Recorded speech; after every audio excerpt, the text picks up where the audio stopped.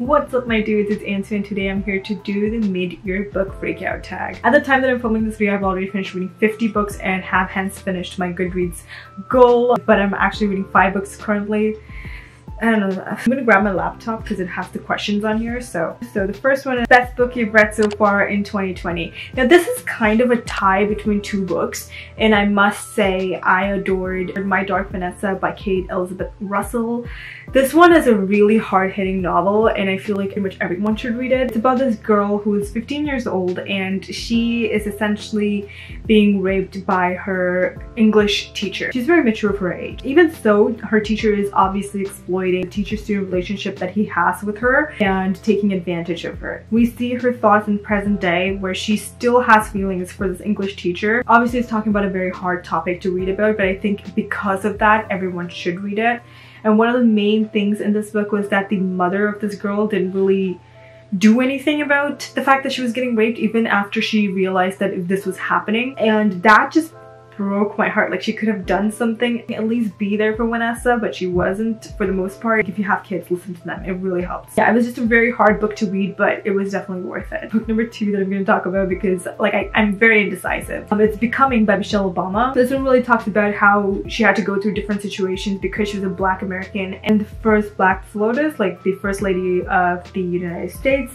It really shows the difficulties that she had because she was black and why people not why, but like what uh, how people were discriminating against her for just being black. Especially during this time, I feel like it's a very important book to read. Obviously, again, I have links linked down below for ways you can support the movement, so that's there too. Definitely read this book if you want to get to know how people are being treated even a little bit. Next up is the best sequel that you've read so far, and I think it is For the Devil Breaks You by Libba Bray. I know I've talked about the Diviners so much on my channel, and it is one of my favorite series pretty much ever. I was not a huge fan of the last book, but this is the third book in the series, and it was my favorite. I adored this entire series, and especially this third book was just so freaking good. I highly recommend it. New release that you haven't read yet but you want to. Ballad of Songbirds and Snakes I believe it was called by Suzanne Collins.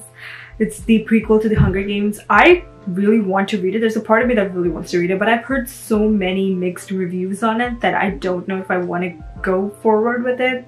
There's like a little part of me that's like really hesitant for it. It's still there on the list. But one of the books that I've seen the cover of going around and I kind of am obsessed with the cover is A Song of Wraiths and Ruin by Roseanne Brown. The cover's freaking gorgeous, man. Have you seen that? I saw one of the copies which has like green stained edges. So pretty! But yeah, the story is also pretty intriguing, like the way that it sounds. Also came on like the beginning of June, I think, so it was a pretty recent release. Number four is most anticipated release of the second half of the year. The Invisible Life of Addie LaRue. I'm so, so excited for this. It is a book by V.E. Schwab. If you didn't know, she's one of my favorite authors and I'm so pumped for this book. So we're in France in 1714. In a moment of desperation, a young woman makes a Faustian bargain to live forever and is cursed to be forgotten by everyone she meets thus beginning the extraordinary life of Addie LaRue and a dazzling adventure that will play out across centuries and continents, across history and art, as a young woman learns how far she will go to leave her mark on the world. But everything changes when after nearly 300 years, Addie stumbles across a young man in a hidden bookstore and he remembers her name.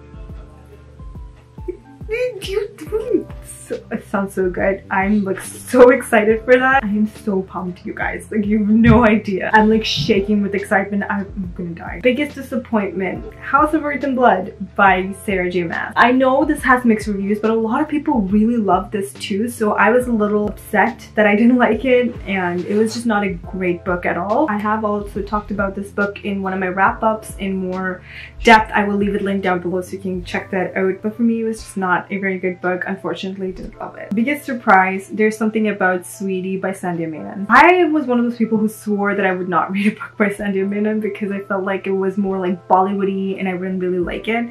Um, but I ended up reading this book and I freaking loved it. As I can totally say it's not for everyone, but I personally loved it the most because the female character, Sweetie, is from the same state in India that I'm from. Having like little dialogues in the language just got me so happy. I've never seen it before. That's why I was like super excited about it. I understand and completely agree it's not for everyone, but it really talks about fat shaming and it just does it so well. And the way that Sweetie had to deal with all the negativity and just pretty much blame even from her own family. It just really shows how much that happens to her and it's just it, it was really well done. Favorite new author this could be a debut or a new author to you. For me that would be Dhonielle Clayton. I've heard about her books the Belles for a very long time and i never really read it. I don't know if it was her debut or not but it was a new author to me and I adored her. It was just such a fun book to read. I read The Belles if I didn't say that. He falls around this world where we have all these people who are completely gray. Like they don't have any color to them. These people like magician type people who are called the Belles can essentially change the way that people look. It's like a plastic surgery but in human form, that's essentially it. They can change your color, they can change the way your nose looks like, your mouth, your eyes, they can, they can change everything about you, but it's not permanent. You need to always like go get touched up to look like that. Kind of like a tattoo fades away. The human structure also fades away to what it was in the beginning and they just turn gray. The our main character who is also a belle, um, has to essentially save her people and also the people of Orleans. And it's just good. It's really good. It's just a fun book to read and I just really liked her writing style as an author. It's just really good. Newest fictional crush. Uh, you know, I, I don't know if I had any fictional crush at all, but just for the sake of answering this one, I think it would be James Herondale from Chain of Gold. I thought he was like such a precious character and I really adored him. So definitely going to go with that one. He's really an adorable character. So newest favorite character. I feel like this would be Finn or Finian from Aurora Rising. He's just a very sassy character throughout the entire book. And also the person who voiced the character was just, it had he had a perfect voice for that particular character. Definitely adored that character. So I'm going to choose Finn.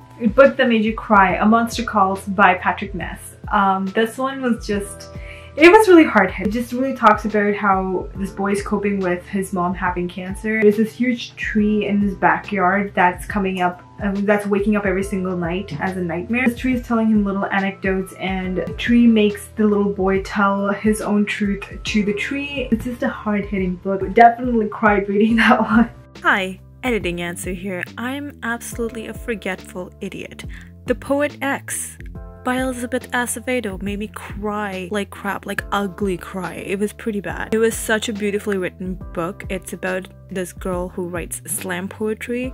And it's a very short book but it was so impactful. If you have not read that book or even listened to the audiobook i would highly recommend you guys to listen to the audiobook. It is fantastic. So please do check that out as well. Um, it is about xiomara batista who feels like she's unheard and unable to hide herself in her harlem neighborhood.